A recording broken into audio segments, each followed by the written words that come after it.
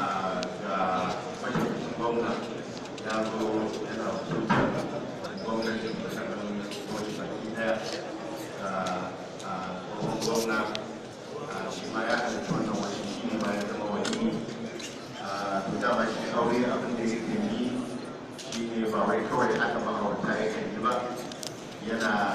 yarwata to wani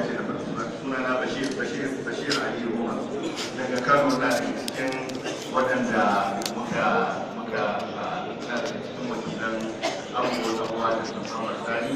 da muke